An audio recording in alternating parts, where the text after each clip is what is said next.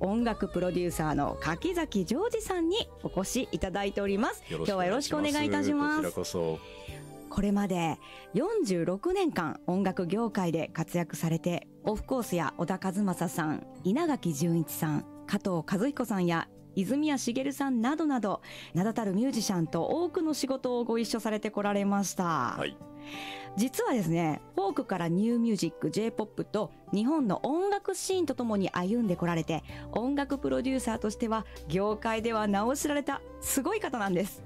えーそんな柿崎さん音楽出版社にはい。新入社員として入社されます、フジテレビ系列のフジパシフィックミュージック。当時フジパシフィック音楽出版。はい、ね。初めて担当されたのはどなただったんでしょうか？あのいろいろやってたんですけど、はい。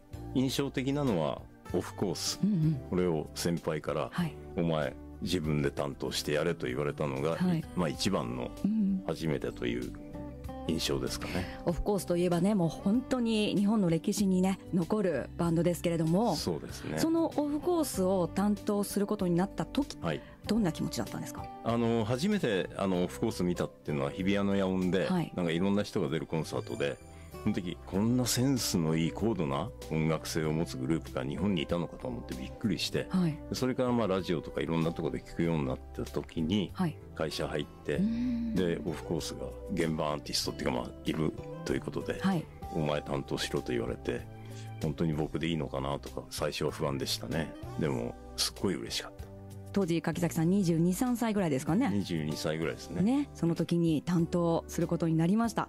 うん。あのごめんなさい話戻りますがレコード会社とか芸能事務所音楽事務所っていうのは聞いたことがあっても音楽出版社ってどういうことをするところなんだろうと思ってる方いると思うんですよ、うん。ちょっと教えてもらえますか？あのいいですか、はい。あの音楽出版社ってあの音楽には著作権というもものがあるんですよね、はい。その誰それが作られた詩を書いて曲を書いたっていうその権利をちゃんと登録して、はい。まあ、ジャスラックという日本音楽著作権協会というところがまあ主なところなんですけどそこにちゃんと届け出を出してそれを管理する。これは間違いなく蘭花さんが作った東京恋海ですよとういう、ん。で登録してちゃんと正当に CD の売り上げとか放送の使用料とかいろんなとこから入ってくるお金を管理して分配する。そういったことがビジネスとしてなりわいとなってるのが音楽出版社。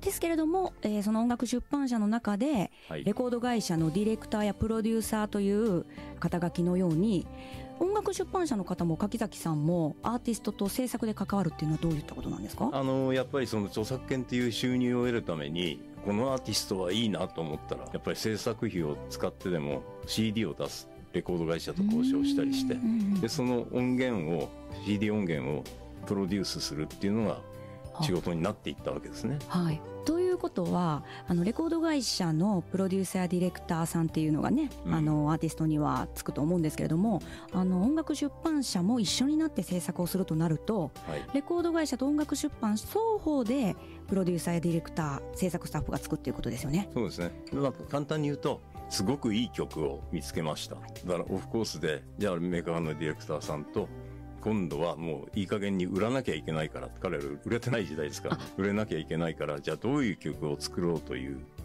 どういうタイプの、うんそういうとこで会議をやったり、はいで、誰かが見つけてきたデモテープで、はい。なんか例えばこんな感じの曲がいいんじゃないかとか、そんなような会議をしたり、そういうのがまあ仕事でしたね。音楽出版社はやっぱりいい曲あってなんぼなんで。するとオフコースはその時はまだまだこれからっていう時だったんですよね。そうですね。じゃあその頃のお話をちょっと聞かせていただきたいんですけれども具体的にはどんな仕事をされてたんですか？あのー非常にそのファンハウスというはい彼らの所属した会社ってある意味体育会系でアーティストとはスタッフは距離を置いて、まあ、すごく信頼されてた武藤さんというもう亡くなられましたけど、はいプロデューサーがいて、まあ、その方とは絶対的な彼ら信頼関係あったんですけど和ませるリラックスさせる人間っていうのが私だった。ああそうなんですね、ええ。はい。笑わしたりや出先でうん。旅先ではい。なんか面白おかしくうん。彼らをリラックスさせるような役割と、まあ時々は音楽に対して意見を言う。それが主な仕事だったということはメンバー小田さんや鈴木さんやいろんなメンバーの方たちとも仲良くなられたんじゃないですか？であのドラムの大間次郎ともう一人ギターとボーカルの松尾和彦君っていうのと同い年なんですよ、うんうんなので非常に打ち解けやすくてうんはい。話もしやすかったですね。それであの印象的なのは、はい。武道館を10日間やった。その時にアンコール用に、はい。確か「僕らの時代」という曲をはい。リハーサルをもう前の晩ですよ初日のリハーサルやってましてはい。その時にあんまり出来が良くなるで小田さんの車に乗っけてもらってはい。帰る時に「小田さんこの曲本当にやるんですか?」って俺言っちゃったんですよ。当時柿崎さんおいくつぐらいだったんですか？25ぐらい。はい。で何って言うからしたらあの他に一緒に乗ってたメンバーのベースの清水さんとか「こんなにあかんか?」って言うから「いやこれお客さんにアンコールでと最後にやってこれあの出来だとお客さんがっかりしますよ」って言ったんです。うんうんうん。そうかっつったら。翌日確か11時武道館集合だったんですなんで、はい。それがなんか8時集合かなんか小田さんが 集合かけてはい。リハーサルやってました。そして当日本番どうでした？本番良かったんです。すごい良くて。それでもう舞台から引き上げてきてベースの清水さんが「バッチリやったろお前」って言うから「まあまあですね」って俺言ったら頭殴られました。いやもう本当に柿崎さんと一緒にねコースの名曲をいろんなアーティストさんがカバーするコンサートを昨年連れてっていただいたじゃないですか。はいはいはい隣の隣の席が大間次郎さんで。そうですね。ねあと私のラジオ番組にも松尾和彦さん。あ来てくれました、ね、来てくださいましたね、あと鈴木康弘さんも来てくださいましたし鈴木康弘さんはね昨年の私のバースデーコンサートでもゲストでね、はいはい。出演してくださいましたが私まだね小田和正さんお会いしたことないんですけどもうん。小田さんはどんな方なんですか？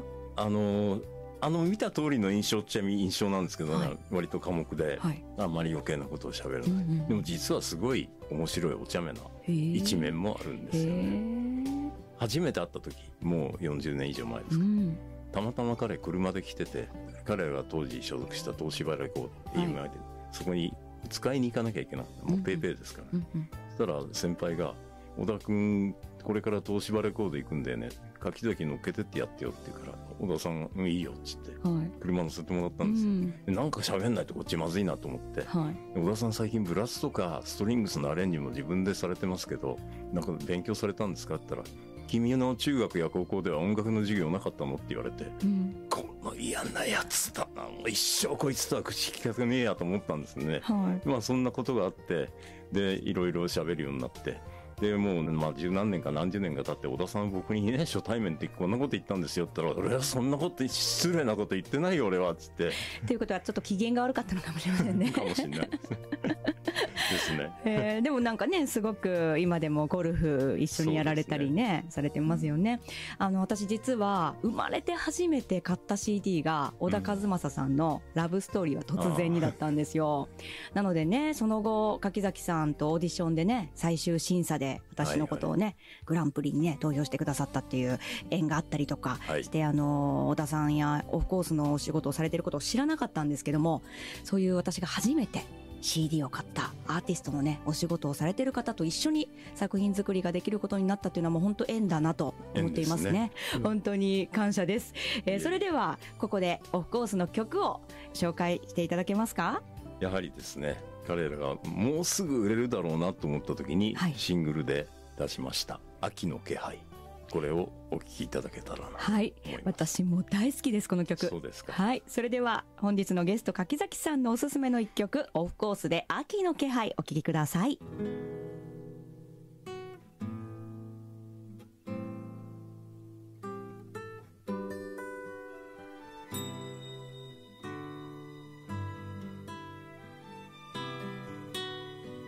あ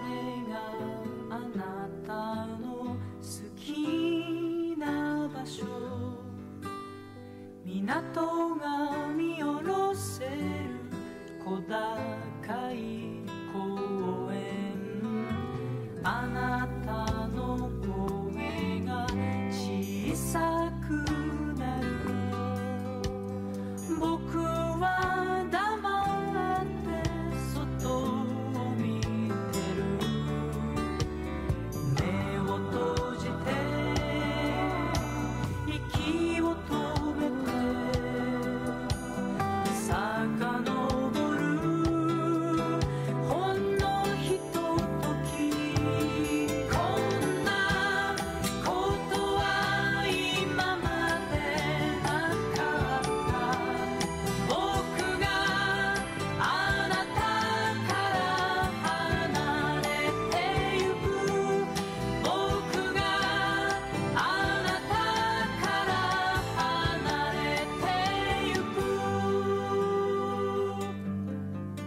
けした曲はオフコースで秋の気配でした。